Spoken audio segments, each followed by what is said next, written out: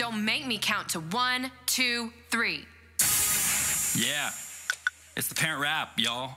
We may spend most of our time chasing toddlers down, but we still know how to rock the hizzle. I don't even know what you just said. We used to be cool. Back in the day, back on the block, watching PG 13 movies, staying up way after dark. Then we had a couple shorties, and now we're really flossy. Cause now we be rolling with our own little posse in the minivan or in our little wagon. Let me throw it to moms, cause the little one is sagging. I used to bling it up, I used to dress real shoe. Now I accessorize the food that's already been chewed. And that's alright. I make this diaper bag look good when I'm walking through the mall trying to wrangle my brood.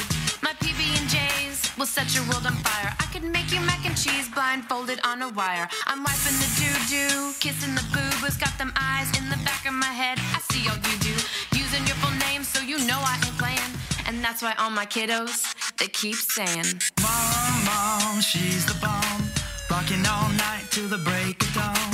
Cooking in peace so I'll grow up strong. Got my second seat belt if we crash head on. Dad, Dad, he's the man. Working real hard to support the clan. Traded in his Porsche for an old sedan. Raising those brows if we get out of hand. When it comes to Candyland, I'm a stone cold player. Helping out with the homework, I'm an algebra slayer. Wrestle car seats into place without spilling my mug. If I tuck you in at night, you'll be as snug as a bug. Then I'm off in the morning to make that cheese. You may not know this yet, but it doesn't grow on trees. Now, mama, take it, please. What? Training on my tots. Washing all the pans and pots, tying little shoes and knots. Giving knowledge to your brain like if you're friendship off a train. You don't have to do the same, now get your toys out of the rain. I'm cleaning every spill, cutting coupons like a bill. If you need parental skill, now you know we are for real. You don't think our rhymes are ill, boy? Then you're grounded for a mill. Mom, mom, she's legit. Making us chill when we pitch a fit. Telling us to share and never to hit. If you can't say something nice, put a sock in it. Dad, Dad, he's the guy. Never gets tired of playing I Spy. With a constant barrage of kids asking why. And he always pretends he needs another tie. You know money doesn't grow on trees. Why buy the cow if the milk is free? This won't hurt you as much as it hurts me. If you want dessert, eat another veggie. Close that door, you weren't born in a stable. Sit up straight and kiss your Aunt Mabel. Close your mouth when you chew. Get your elbows off the table. Mom and Dad of the year, check it. That's the label. It's the parent rap, y'all. And it's a parent. We're great parents. Mom and Daddy in the house. Mom and Daddy own the house. Mom and Daddy need to clean the house. Keep your hands to yourself, boy. Don't make me stop this beat. I'll do it. I'll pull this beat right over.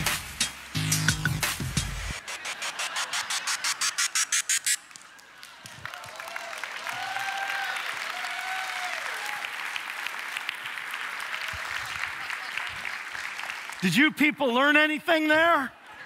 I like that last look at the end. Some of you don't know how to do that. That's because you're not parents yet. It'll come to you, you're genetically predisposed toward that very defiant, bring it on, sucker, I will dominate you look. By the way, speaking of which, I thought I'd get dressed for the moment this week. Just saying. So, everybody's always welcome every weekend at this house except for the last three years, this week and a half in June. If you're into LeBron, y'all just get up and go find yourself another church right now. In love, I say that, in love. And uh, no, not really. We, listen, last year down 3 1, lost the thing. So right now, boom, got our game face on. Game two tonight, it's going to get ugly in the paint. Bring it on. I don't know if McGee is smart enough to actually be on the court, as the Cavaliers say, but it looks like he's doing a number on Tristan Thompson. It was, game one was not pretty, so anyhow, it was awesome. Now, what are we talking about today? I don't know. I, I don't think it's the Warriors. Oh, yes, raising great kids. We did the first part two weekends ago. Now, listen, we can't take the time to revisit the vital foundations that we laid two weekends ago. So get online. All of our weekend teachings are archived. Just go to our teaching page on our website, okay? The secret to successful parenting is to treat our children just like God the Father treats us. Does that make sense? That's the foundational premise for everything that we are saying uh, about raising great kids. Now, get your chin off your chest. Quit obsessing mom and dad over your past failures or that your children in the moment aren't what you dreamed they'd be, hoped they'd be, right? And let's just say this is a brand new day with no mistakes in it. You can be a great parent. God will help you. And what we're going to do is import some wisdom and understanding from the Bible that will make us far more effective uh, molding and mentoring and shaping the lives of our children than we ever thought possible. Remember, what your children will one day be, they are right now becoming. What they'll be at 20, 30, 40, 50, we are making their destiny in the moment as you and I talk together, okay? Now, why is this important? If you're a parent, why these teachings are important, this three weekend series, Raising Great Kids. So, again, it was two weekends ago, this weekend, and next weekend we'll wrap. If you have children, it's so important because what's at stake? Your kids' eternity is at stake. What else is at stake? Your legacy. You know what I think? I think when you and I are 80, 90 years old, whatever that number's gonna be, when we leave the planet, right? I think we will largely define the value or the worthwhileness of our life by what our children have become. Okay, that's not to say if your children are adult children and have not become what you hoped that they would become or thought they should become, it doesn't mean you're a failure. But I'm simply saying all the other stuff that distracts us from being the best version of the parents God intended for us to be, all that other stuff is just window dressing. This is the main event that decides our life, and it will be our legacy. Now, if you're here and you don't have children, uh, here's the big takeaway for you. I want you to watch the parenting principles that God the Father is teaching the parents in the house. Whether you're together with your mate, whether you're separated, divorced, whatever the circumstance may be, because how God teaches us to parent is how he's parenting you, even if you're 40, 50, 60, 35 years old, it doesn't matter. In other words, these are transferable principles that you're gonna see uh, in the heart of the Father, and it will help you understand his motivation towards you and his intent towards you as an adult single individual. Now, if I could make a critical statement this weekend, here it is. You'll wanna write this down. Create your home to be marriage centered, not child centered. I don't think that anybody in the house, you would love it if your children grew up to be self entitled little narcissists. Would that make you happy? I don't think so. And yet, that's what the energy of a child centered home does. It teaches that child falsely that they're the epicenter of the universe. And that's not how life works. Wait till they go out to university, wait till they get their first job, wait till they actually have to pay their own way. They're gonna find out uh, that it doesn't work that way. It doesn't mean we don't treasure, cherish, honor, invest the best part of ourselves in our children. We do. But we build a marriage centered home not a child centered home. Because when those kids see a committed mother and father, when they see what actually true, real married love looks like, we set them up for the greatest possible version of their own married life and home life together when they're old enough to make that happen. Now, a word of grace. Uh, if it's correct that about 50% of American marriages are ending in divorce, that means that probably 40 to 50% of the parents in the house, you might be a single parent. I grew up in a single parent home. My mom, five of us kids. I know what that looks like and feels like, at least from the kid angle, right?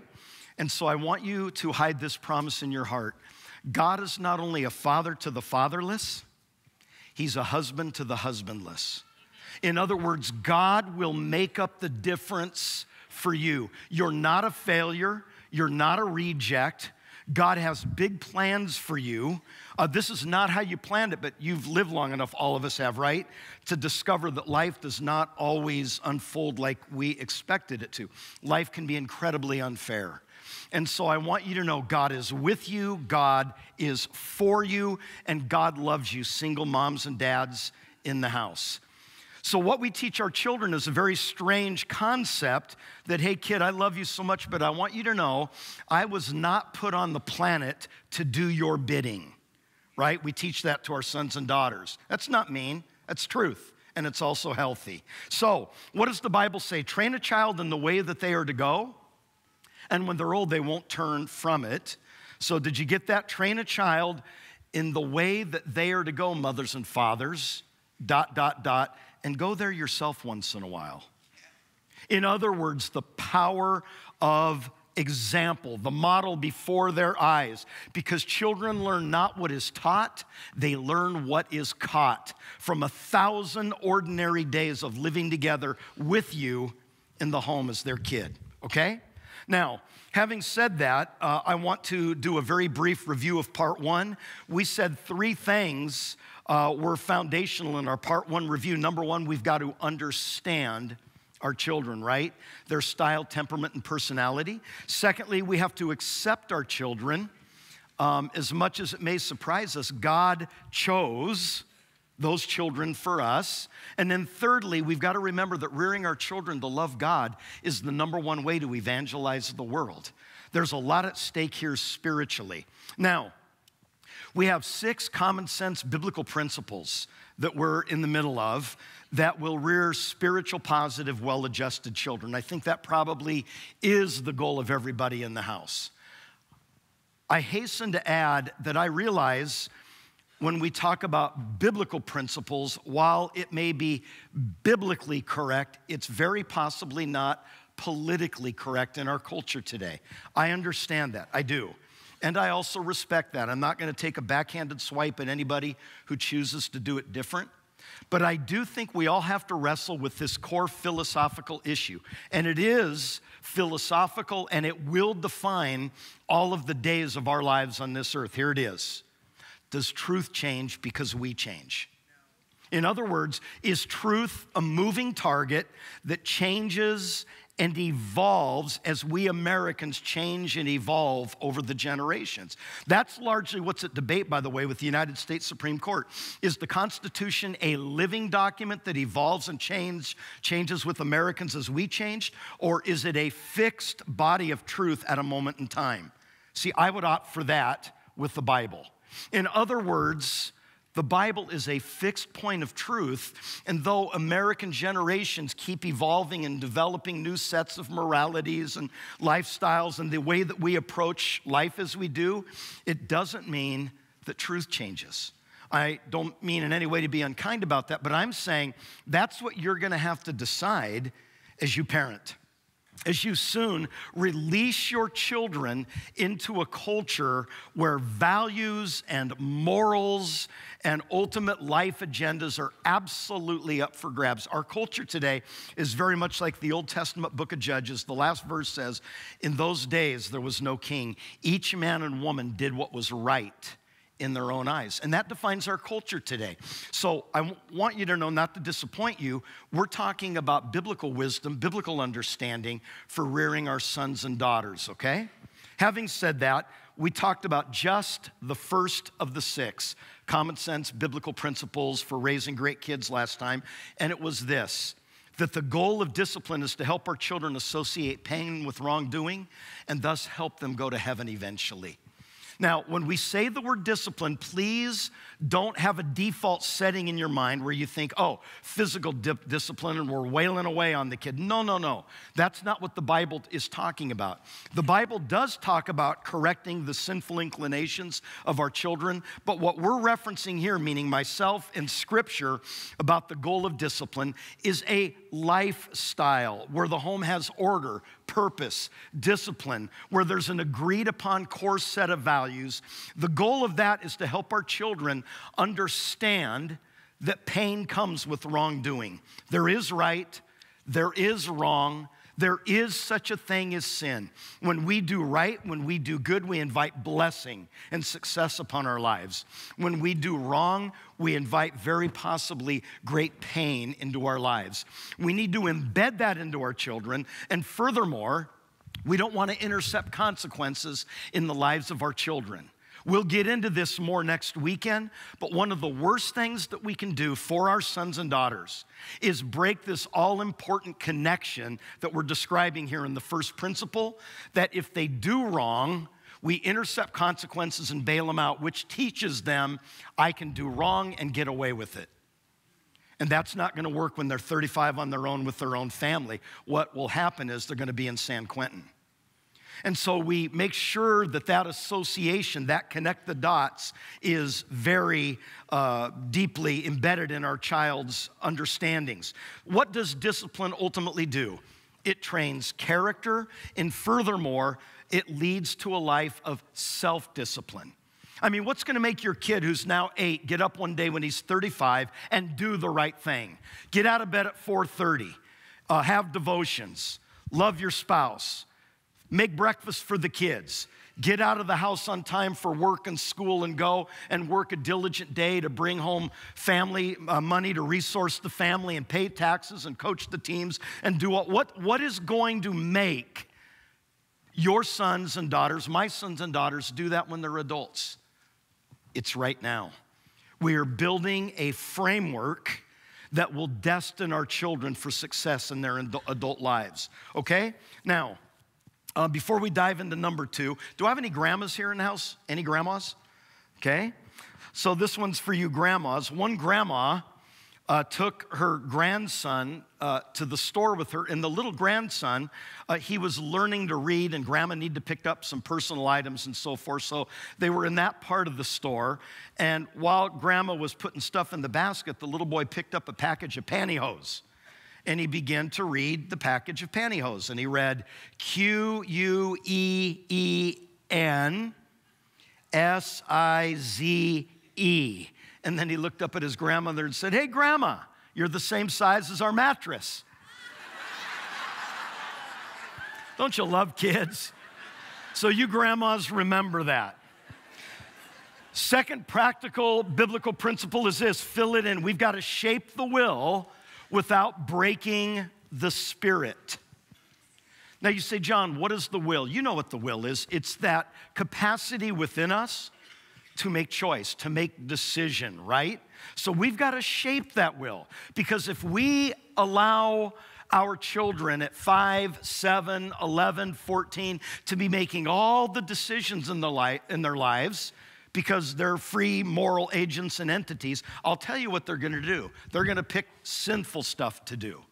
And the Bible says that we are to shape the will of our children. And you say, well, John, why would they pick sinful stuff? Because they're your kid and they're my kid. We're the big sinners and they're the little sinnerlings, right? And it's the inclination of the fallen human soul to do that. Even though we're created in the image of God, we have sinned. And so we shape the will, but notice the delicate balancing act without breaking the spirit. You say, John, what do you mean by the spirit? I mean that essence, that very fragile essence in your child of their self worth, of their God worth, of the image of God in them. That's what we're talking about here. So that's the delicate balancing act. So listen to Dr. Bruce Narramore. He writes about labels. Whenever a child is labeled, an image is written on his or her little mind. Repeated labels influence a child who's shaping an image of him or herself. Accusations such as clumsy or stupid become important elements of the child's growing attitude toward themselves for a lifetime. By the way, I pastored a family one time who apparently their most uh, favorite term of endearment for their children was reject. Reject, get over here. Reject, go do this. Reject, you dummy, go do that. How do you think that set the child up for the rest of their life? Think about it. Dr. Narramore continues. However, each time parents communicate respect, love, and trust to their child, they're laying another building block in the foundation of that child's self esteem.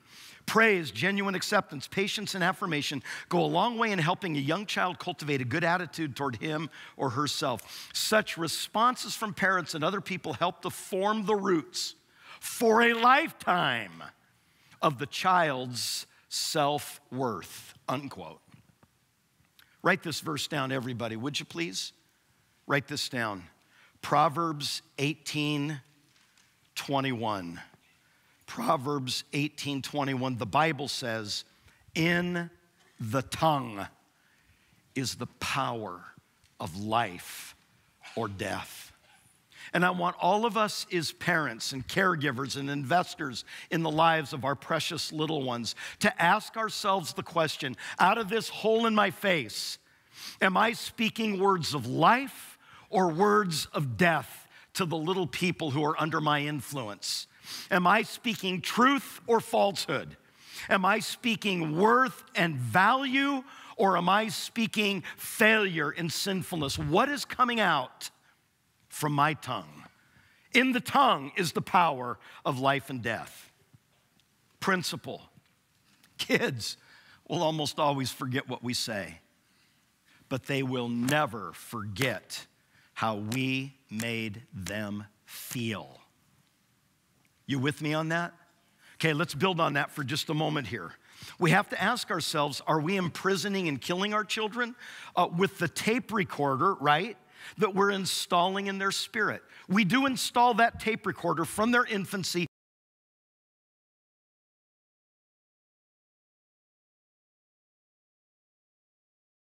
inner voice with a playback button that your child will hit when they're 45 years old, living 3,000 miles away from you. They'll awaken in the morning, and the first thing they will do is hit that playback button over and over and over and over and over. Now, where did they learn that playback button? Where did they have that tape recorder embedded in them?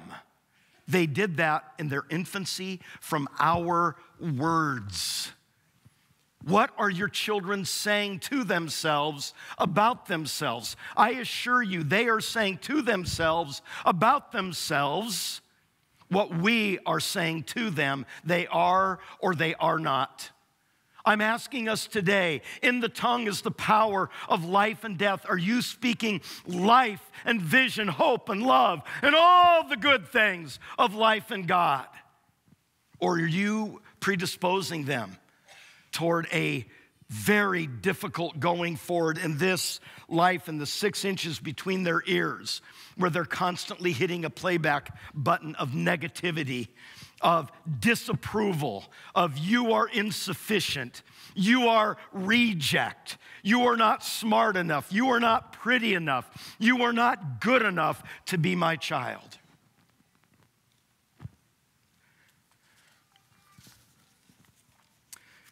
When we talk about shaping the will without breaking the spirit, word of wisdom, do it when they're young. Um, because it's far easier to bend the sapling than it is the deeply entrenched mighty oak. Do it and begin when they're young. If you have a strong willed child, I want to encourage you yet again and say that is a good thing, not a bad thing. Don't let your strong willed child who has opinions, whose default setting is always defiance and a thousand challenging questions and all these other things. At a neutral moment, not when you and he or she are amped up, but in a neutral moment, get them in a bear hug and whisper in their ear Listen, you are my child, and you're just like me, you got opinions. And often your opinions and my opinions, they ain't the same opinions. But I love you so much and I'm committed to you. And I thank you for this great inner strength that God has given you, and it's my job to shape it and mold it and guide it and mentor it. And my son, my daughter, I'm telling you this I will win. Whenever we have a challenge, because I love you, I will win. That's my job as your dad, as your mother. I will win. So let's just cut through all the nasty part and go straight to the end game. I win and I'm guiding you the next step on your way to forging a character that will be passionate to beat after Christ. See? So it's a positive thing because you train that strong will, you will create a giant for God. I have to add this because, and I'm going to say it every weekend. When we talk about discipline, when we talk about character building and soul shaping, and so, we are not in any way speaking about any kind of harshness or abuse. We're talking about a relentless, irresistible love, and yes, necessary toughness at the decisive moment But relentless love, we're not in any way speaking about any kind of abuse. Abuse of a child in any way, shape, or form, it is illegal. Furthermore, it is immoral. Furthermore, it is sin. It is sin. No matter how you may have been raised and you are trying to undo some of the unhealthy things that happened to you, don't repeat your family unhealthy legacy. Say, listen, that may have happened. That stuff did happen. It was not nice. There are points I think it wrecked me, but this is a new day.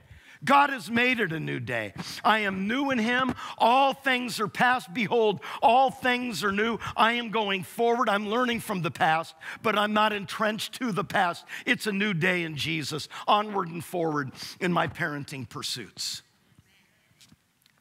Another thing for you fathers, and some of you are looking at me, and you dads are saying, John, man, you seem to have be ganging up on dads uh, in this Raising Great Kids series. Uh, I'm just saying, and I say this with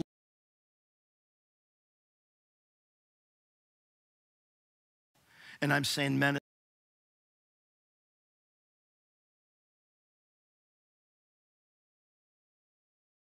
you may have been negligent or absent in the past.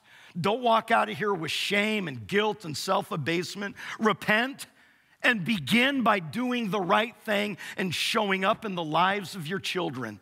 You can pretend to care, but you can't pretend to show up. Showing up means I love that child. Now, here's what I want to say to you, dads give your sons and daughters your blessing. You say, John, what do you mean by blessing?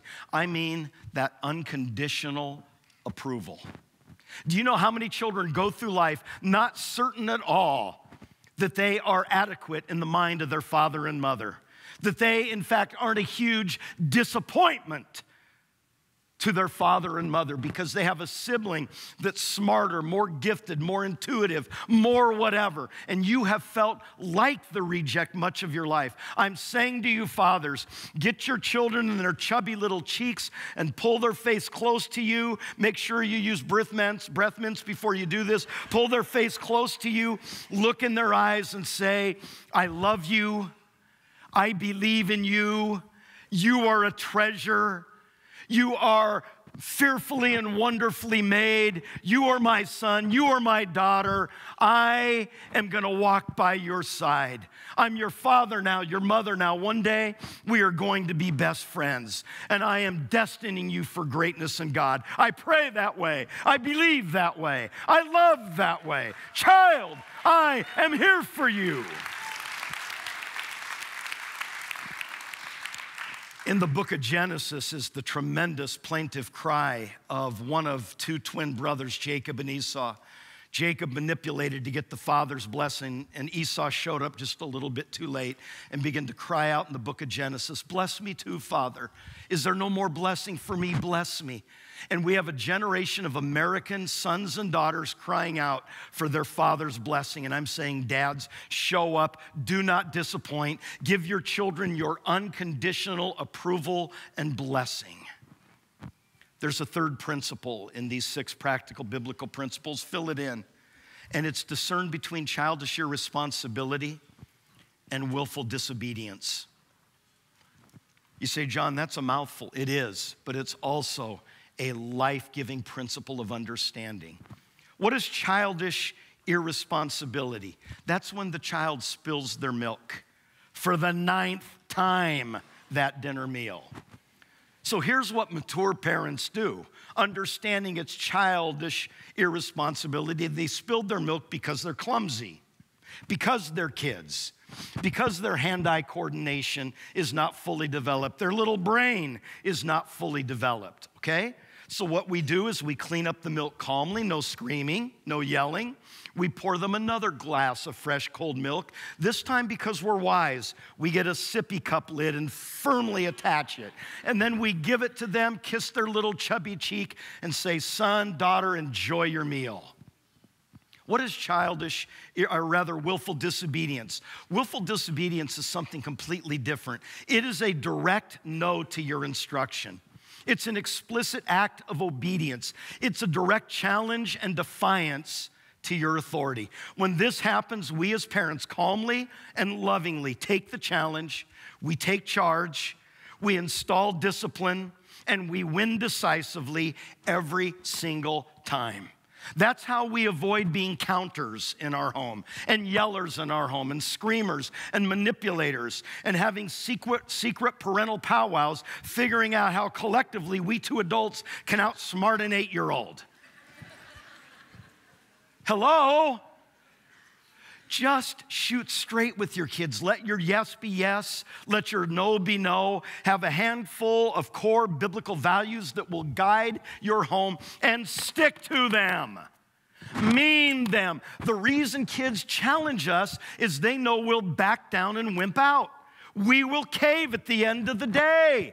Do not cave uh, kids will bamboozle and manipulate. Have you discovered that? Have you discovered that five two year olds can practically run the planet? It's true.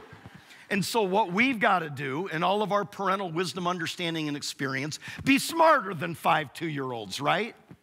When it comes to willful disobedience, that's a morals, an ethic, and soulish and spiritual issue. Spilling of milk, childish irresponsibility is a little nothing.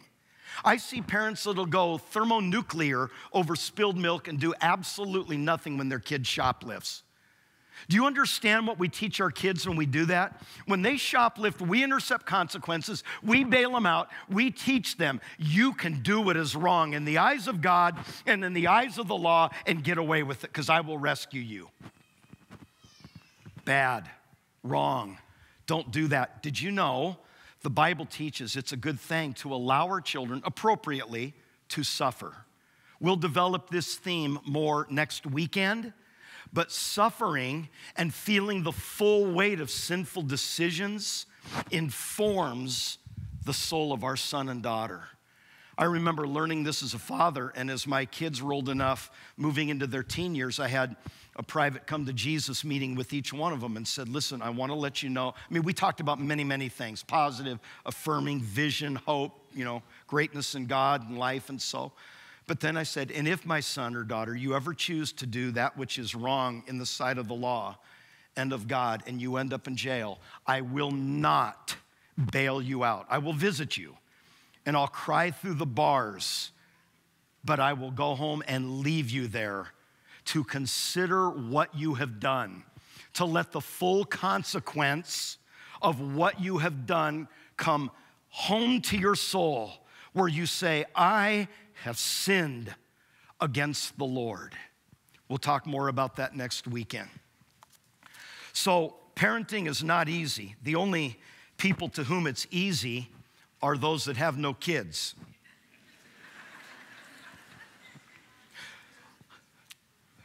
I think everybody in the house would agree, probably, that God our Father is the perfect parent, correct? But even He lost His first two children in rebellion, Adam and Eve. Do you remember that? Maybe you've never thought of that before. I'm simply saying sometimes we've reared our sons and daughters in really healthy homes and environments, and they still make very destructive decisions. And so, what we do with them now as adults is we walk by their side, we don't bail them out, we don't intercept consequences, we don't deliver them, but we love them undyingly without uh, any retreat. We love our children unconditionally. When Harry was a boy in Louisiana, he was always getting into trouble. And one morning while Harry was waiting for the school bus, he pushed the outhouse into the bayou. Any of y'all know what an outhouse is? Like if you go to ode.co, there are those little blue honey bucket things there. And okay, so he pushed the outhouse into the bayou and then he got on the school bus, went off to school as if nothing had happened. His school day ended. Harry returned home again and his father was waiting for him. And he said to him, Son, did you push the outhouse into the bayou this morning on your way to school? Yes, father, said Harry, like George Washington. I cannot tell a lie. Harry's father said, All right, son, bend over. I'm going to have to discipline you. Harry tried to explain that, hey, father. Mr. Washington didn't spank George when he admitted chopping down the cherry tree, to which Harry's father responded, Yes, son, but George's father wasn't in the tree.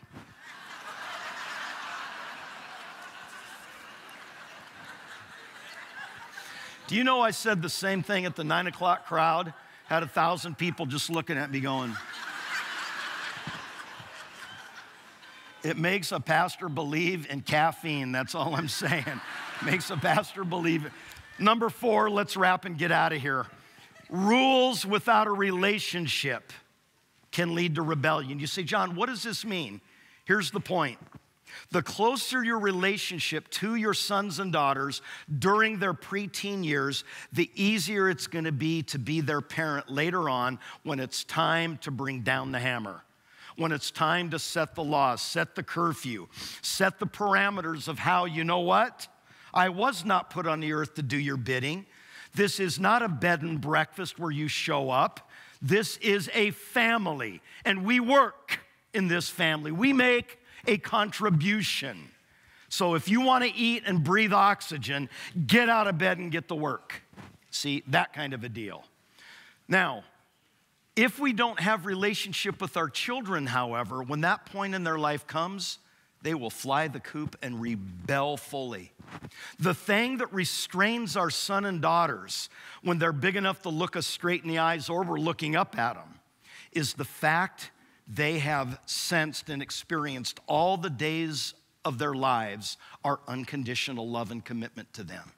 Because they still won't like our rules and our restrictions, so to speak, on their freedom when they're of that age but they will comply usually because they say, That man, my father, has earned the right to speak into my life because he has loved me every day of my life. That woman, my mother, has earned the right to speak into my life because she has loved me every day of my life. So, rules without a relationship can often lead to rebellion and usually does. So, I'm asking all of us are you friends with your children? Um, so I'm a pastor, which means that the four children that God's blessed Carrie and I with are pastor's kids, PKs, which, if you have a weird little pastor home, you're going to have weird little preacher kids. So I started thinking I didn't want to turn four little preacher kid freaks loose on the planet. So, what can I do here? And one of the things that I developed early on to continue to build on our loving relationship that we shared with each of our children is a statement. I said to my sons and daughters, here's the deal I'll go to your games, you come to my sermons. I mean, think about it. What kid would like to have to go and hear their own dad preach? On, I mean, that's kind of horrible if you think about it, right? I live with the guy. Now I got to hear him saying, I mean, what? So, okay. However, we made a pastor's family the most joyous, wonderful life. If there was difficulty in the church periodically, never brought it home. We wanted our kids simply to have a healthy, guilt free, clean, whole conscience toward God and toward His church. I'll go to your games. You come to my sermons. What can you say to your children that would be that same principle tied into your vocation? In other words, we've got to show up for our kids at the important moments in their lives. You say, Well, how would I know what they are? Ask them, they will tell you. Ask it them, they will tell you. There's no substitute for time, and there's this debate quantity time or quality time? Answer both. Both quality time and quantity time. You gotta show up because where the fruit of that relational investment will show up is when they begin to get a mind of their own and begin to challenge the core values that have been central to your family. I said to each of our four children, You, when you're an adult, you will preach the gospel. And it freaks them out. They're saying, I gotta be a preacher. No, no, no. You don't have to be a preacher. That's God's decision, not mine. I don't care if any of you are quote unquote a pastor. I do care immensely that you love God and preach the gospel and share his love with those that need to do it, and that you become a servant to mankind. I care deeply about that. You may be a plumber, you may be a mailman, you may run NASA, you may be the president. Cool. But you will preach the gospel. And so that value liberated my children from some pretty weighty expectation. What I'm saying is think and pray and reflect hard about how you can set your children free and not create this weird little hothouse of guilt and condemnation and judgment and just it really ties our kids up in knots. Build clean, free relationships. Fathers, I'm going to speak to you again. Fathers, I'm urging you to model repentance and humility. When my children uh, were growing up, one of the things I had to do, and I'm just being really honest with you, this is not rehearsed or I had to do is call family meetings. If you're not calling family meetings, you're missing one of the big cool things of being a family, right? Um, and by the way, if you do call family meetings and your kids hate them, I can tell you why they hate them. I don't even need to be in your family because all you ever do in these family meetings is yell at each other and condemn each other. Make them fun things, but then also make them this kind of thing. Whenever I would blow it as a dad, and I would do that toward their mom or toward any one of the four of them, I'd call a family meeting because the Holy Spirit's convicting me, and I'm just feeling like, oh man, what a bum. Okay, I got to get this right. So I'd call a family meeting, short, five minutes, six, seven minutes, and I would say to them, hey, I, I needed to talk to you as your dad and as the head of home here.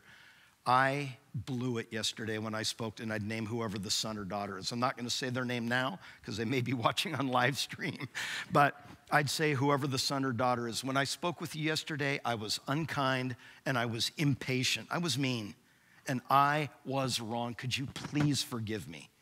Okay? And um, the children would always forgive me, and they're like, Dad, you don't need to say it. And I'd say, Stop. Yes, dad does need to say that. What I did was wrong, and I could see in your eyes, my child, I wounded you.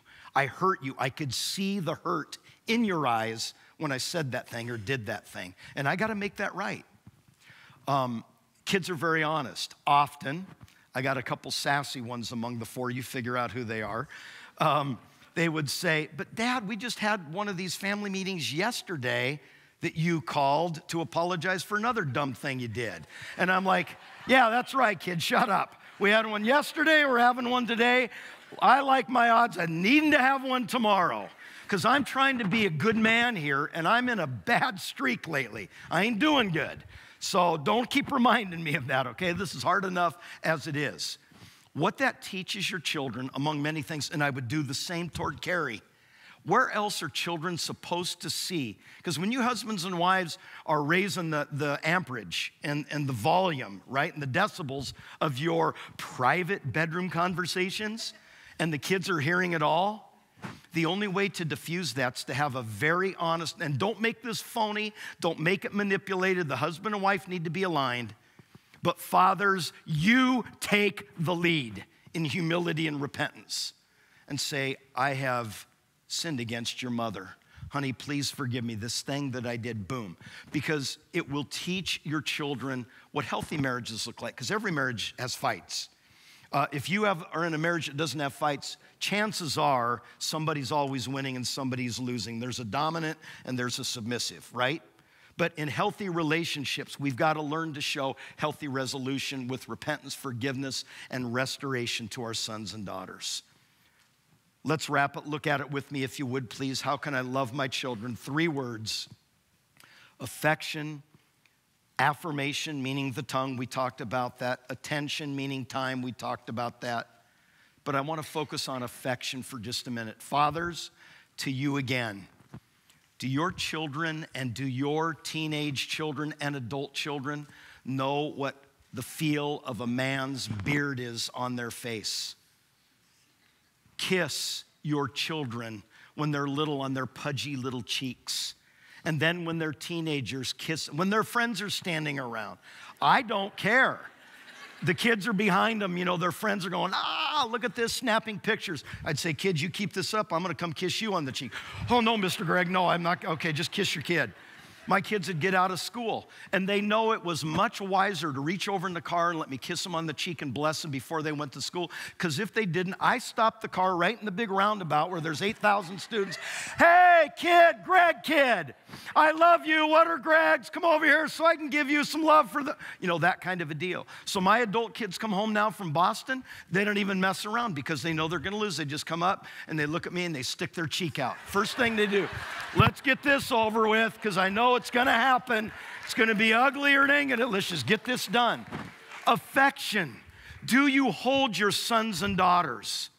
Do you hold your sons and daughters and rock with them and whisper in their ear, I believe in you. I'm so proud you're mine. I love you. You are a treasure to me. I thank God for you. But dad, I'm a bum. Dad, I'm a loser. Dad, not to me, you're not. I declare that you are of tremendous value, worth. You're a winner. You are a treasure. You are a diamond in the sight of the Father and of this Father. And I love you, my child. Now, sic 'em, go out there and live this day in such a way that it's worth the price that you paid for it. A day of your life. Does that make sense? Fathers, kiss your children. My daughters had very tender skin, evidently, because whenever I'd kiss them with a beard, hadn't shaved for a few days, their faces would always rash up, and their friends would go, Why is your face always rashed up when your dad drops you off the. Well, he kissed me on the cheek when he said goodbye to me, and that's just what we do in my weird little family, okay? I close with this. Isn't it strange? How princes and kings and clowns who caper in sawdust rings and common people like you and me are the builders of eternity?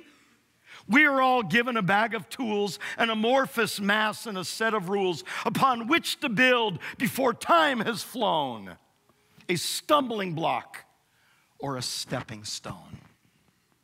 And everybody said, Let's stand for closing prayer, would you please?